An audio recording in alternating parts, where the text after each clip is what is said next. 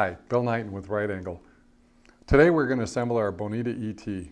Uh, this is our two-legged table. Um, we want to follow the instructions, so uh, I've got the instructions here. And uh, read the safety information first, and then uh, we can get right into the parts that are included with it.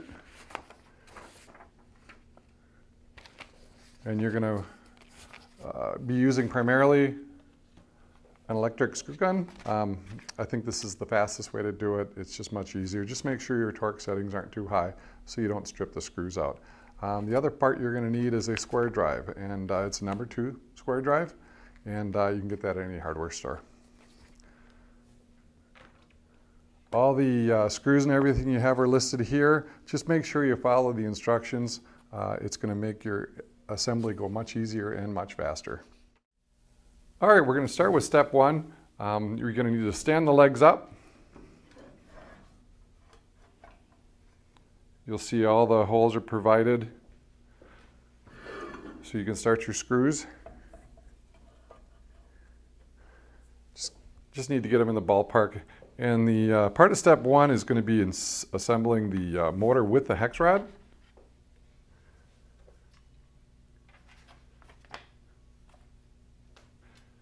And to do that, you can see right here, sometimes you just have to turn it a little bit to get it to slide in. And then to put it in the motor, I usually tilt the column a little bit, pick up the motor and the hex rod, kind of give it a little twisty turn here. You hear it slide in and, and hit. Now don't push the motor all the way on yet. You want it to be somewhat flexible and then we're going to go to step two. And with step two, we have a, a little tool that we provide. It's a wrench to help turn the hex rod. Kind of like we did when we had the motor in our hand, only now we can use the tool. And you just need to twist it just a little bit to get it to go into the next column.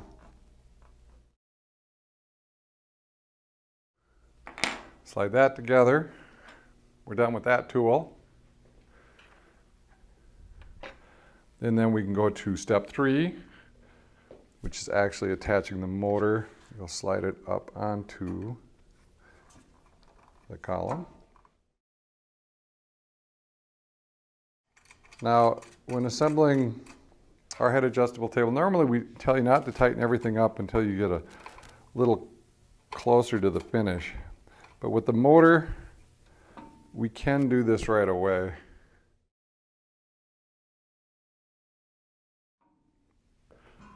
All right, step four is going to be installing the cross support, or excuse me, the hex rod cover and work surface support. You're going to find we have the holes for that also. Line those up. And with this, we can install the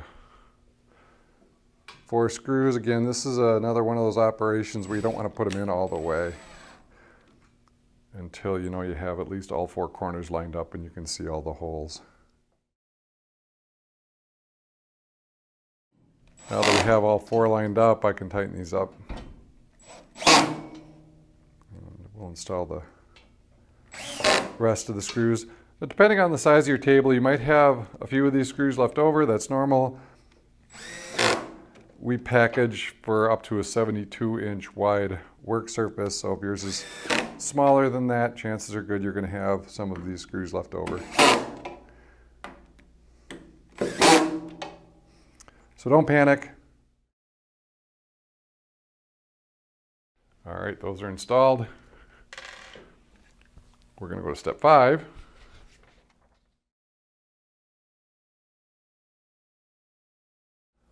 Our cross support.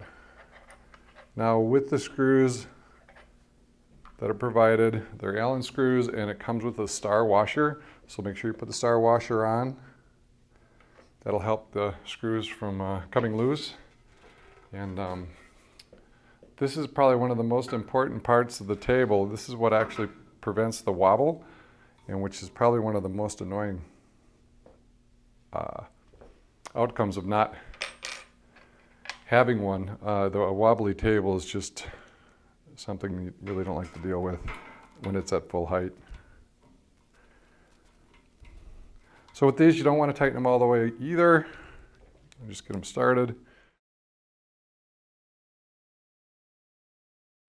Now the next step we want to do before we tighten those is going to be step seven. And that's going to be screwing down the columns to the work surface.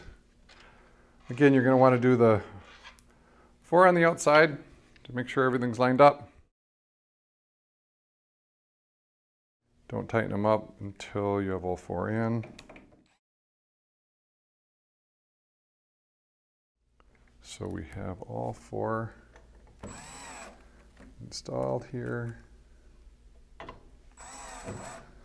So now we can tighten them up.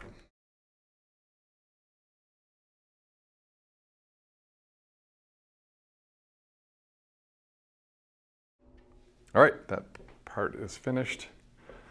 So we go to step eight, which is tightening down the cross support.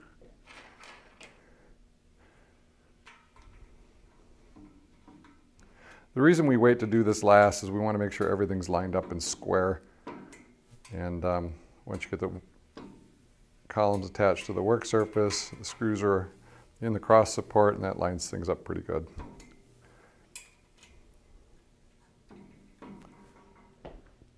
And you want to make sure you have these nice and tight, again, to prevent that wobble. All right, step nine is going to be installing the control box and the uh, switch for the control box. So with the control box, you have uh, little smaller screws for that unit and for the switch also. They are the same. You see they're just a little bit smaller than the standard screw. I like to have the power off to the right. You're going to see there's pre-drilled holes. You're going to find there's three small holes in the front. Two of the screws, uh, screw holes are for the standard two button switch. And if you use the programmable switch, you still use two screw holes, but they're the outside holes. So you'll have, there's actually a hole underneath here, and then your two button switch would install right there. All right, step 10, you want to run the uh, wire management. There are adhesive strips with this um, that you're going to want to pull off and attach to the work surface. Since this is for demonstration purposes only, we're not going to do that here today. And you can place this anywhere. There's, uh, there's no pre-drilled holes for it,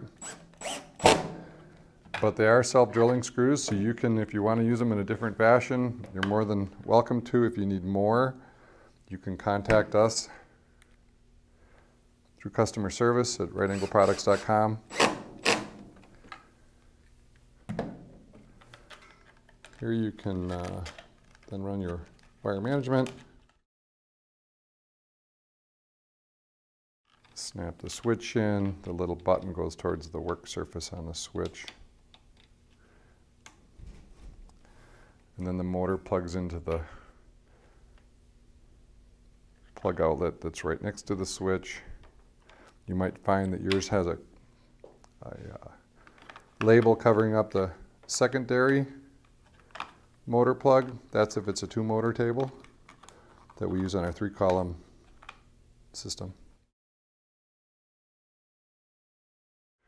Okay, we're going to hook the power up. Plug it in. Push the up button. It'll reset. And if it moves, you're in good shape. Your installation is complete. Just flip the table over. I suggest getting some help. It's not going to be light. Um, but thank you for uh, watching. And if you have any questions, again, contact us at ariproducts.com or at 800 298 4351, and you can uh, dial zero for the uh, operator.